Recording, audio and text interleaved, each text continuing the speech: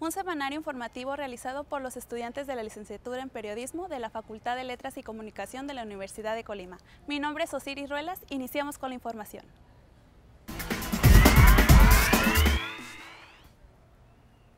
Las bibliotecas son un lugar donde se puede adquirir el hábito de la lectura. ¿Quieres saber más? Veamos el siguiente reportaje.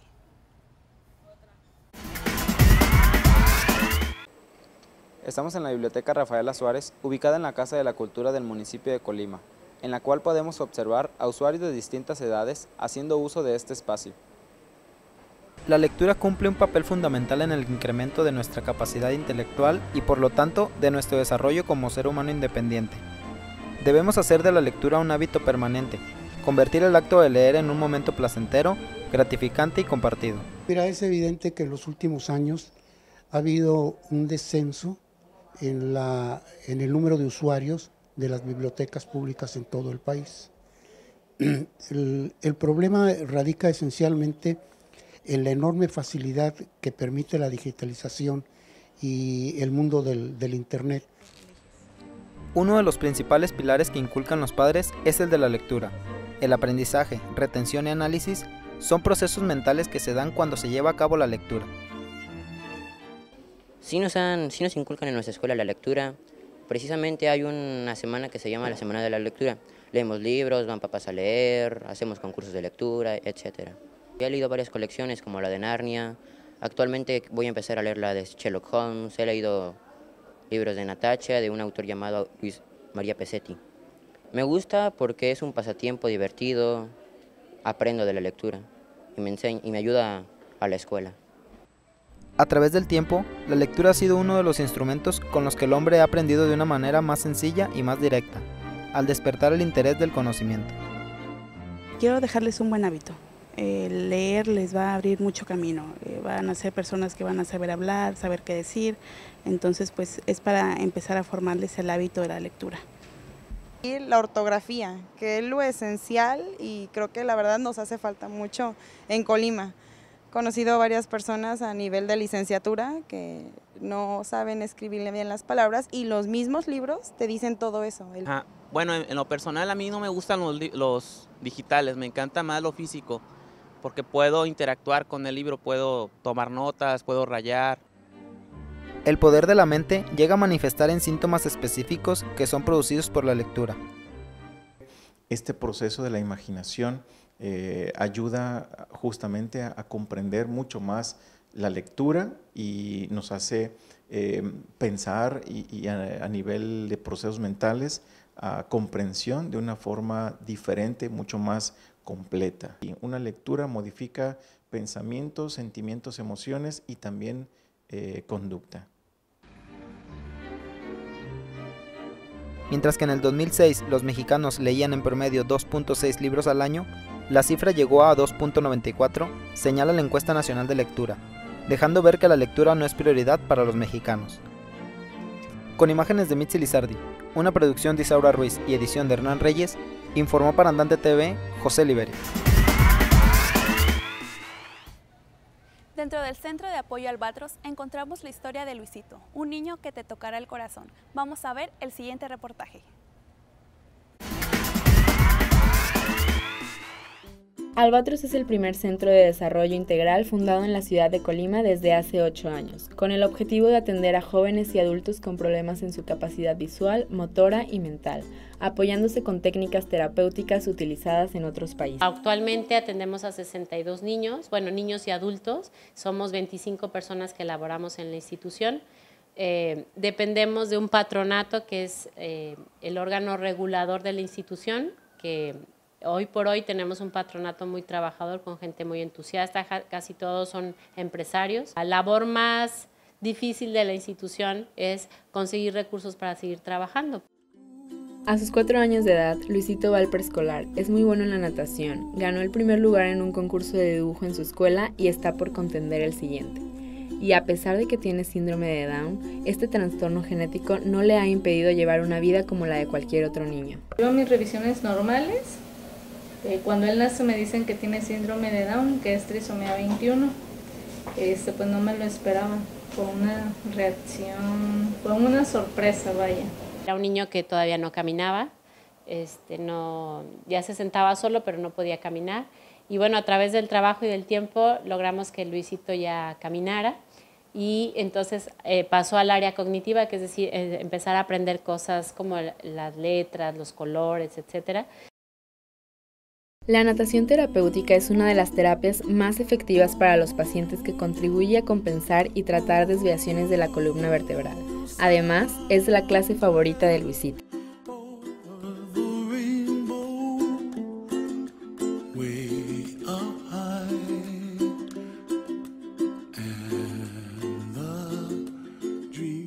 Nosotros tuvimos que asimilar la noticia la asimilamos y siempre nos asustaban, nos decían que los niños pues especiales tenemos que tenerlos como en una cajita de cristal y por ese lado pues nos asustaban mucho, pero ya después yo, yo me propuse y dije voy a ser cuidadosa pero no delicada con él y pues a los, ¿qué será? Me lo llevo a mi casa, no sé qué hacer con él, no sabía dónde ponerlo, no sabía cómo atenderlo, este pues hasta que decidí tratarlo como un niño normal.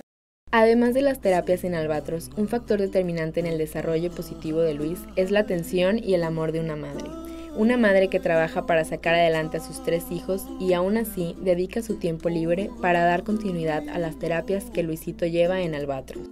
Decían cómo darle terapia física al principio aquí en la casa, este, terapia de lenguaje, eh, cada semana cambiaba el programa, cada semana cambiaba el programa.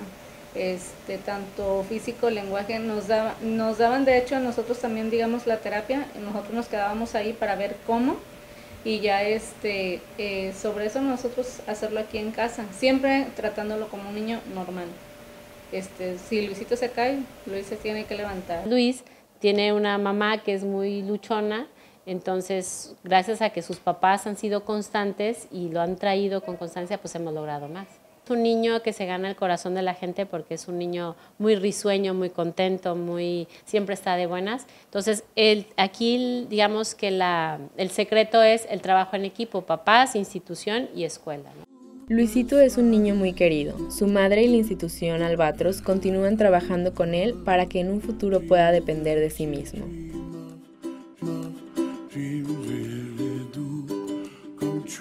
Yo con Luis eh, perdí la vergüenza, yo con Luis este, aprendí a ser más clara, aprendí a expresar mis sentimientos, este, aprendí a no ser dejada, a decir, este, no quiero esto para mi hijo y lo vamos a lograr. Y Albatros, pues gracias, pues siempre voy a estar ahí. Pues no sé cómo agradecerles ni a Albatros ni a las maestras, ni a la directora.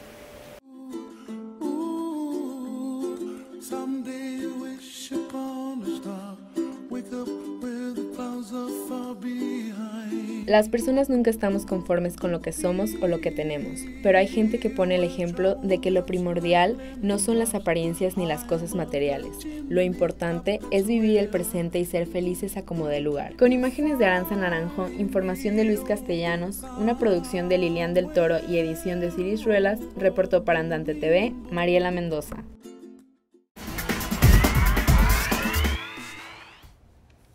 Las coronas de muertos son una tradición mexicana que adornan las tumbas con sus bellos colores y diferentes formas. Lo invito a ver el siguiente material. Año con año las familias colimenses celebran el Día de Muertos, recordando a sus seres queridos con amor y respeto. Para ello acuden a los panteones a dejarle las bellas coronas que adornan sus tumbas. Las coronas representan una ofrenda para nuestros seres queridos que han pasado a mejor vida, pero estas ofrendas no serían las mismas sin manos creativas que han encontrado una fuente de ingresos económicos.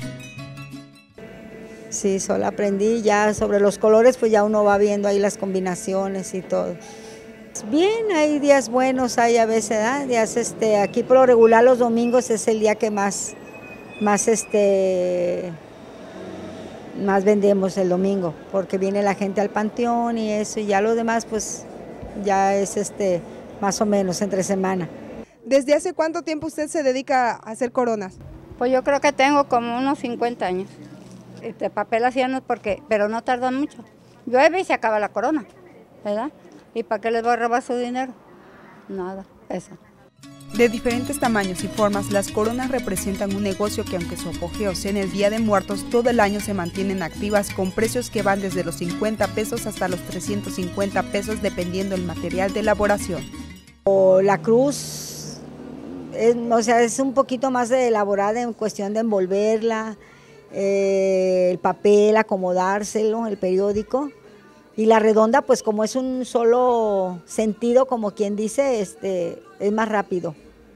¿Cuánto tiempo se lleva en hacer una corona? Una corona, la de moño aproximadamente una media hora más o menos, en las de moño. Y ya en las de seda es un poquito más elaborada, más o menos una hora.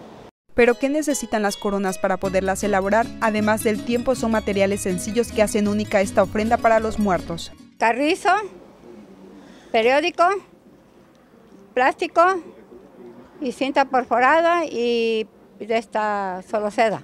Eso es lo que ocupo y silicón.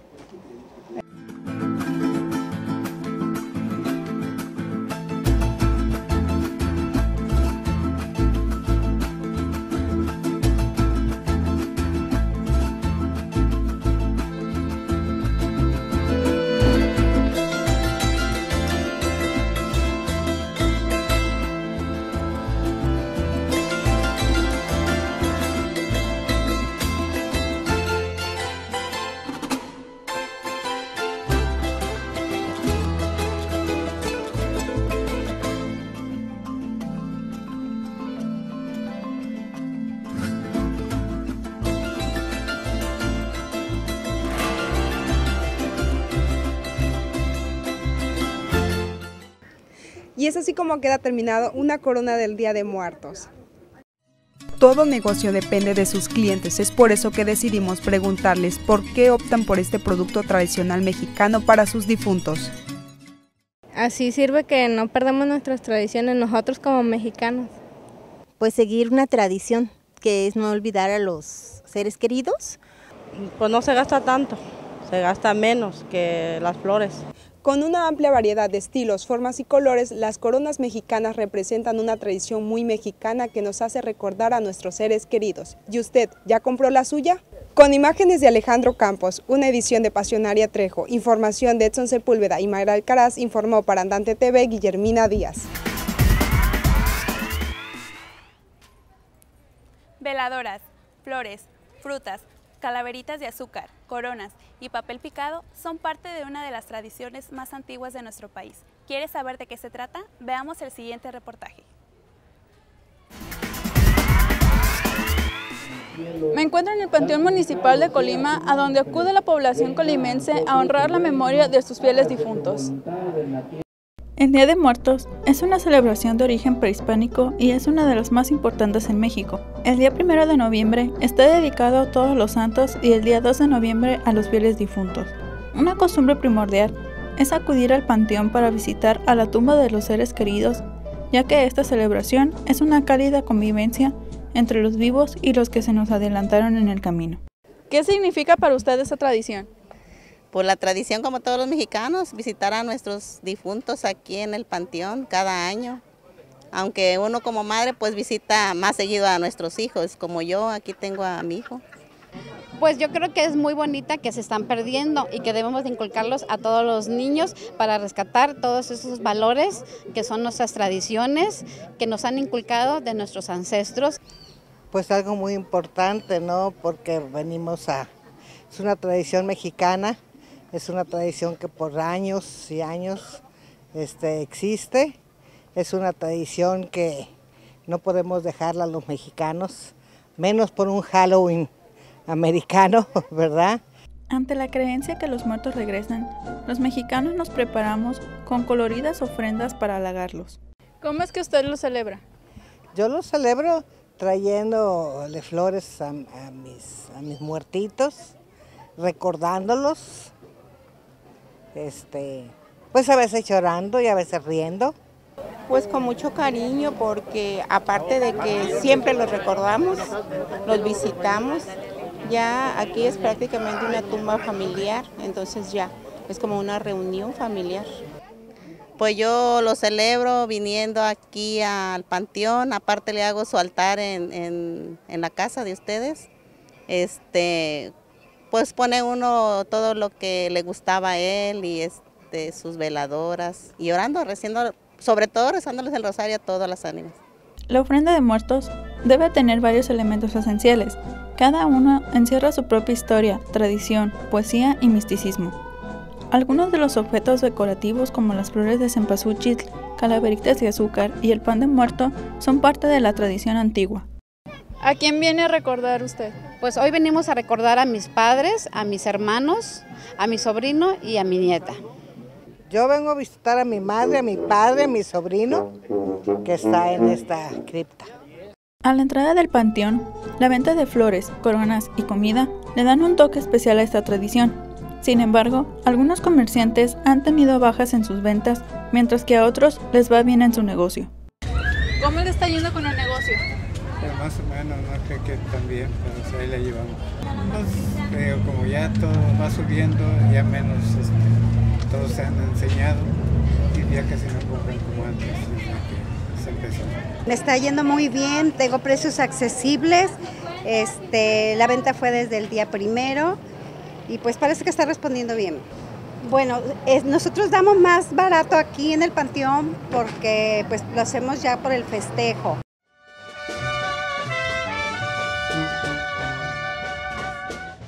La muerte es algo temible, eso que se sabe que llega pero no se desea, algo inevitable. Sin embargo, el pueblo mexicano hace de una cuestión triste y dolorosa un asunto festivo y por motivo de honra o recuerdo, no está de más tocar alguna de las melodías preferidas por aquellos que se les adelantaron en el camino.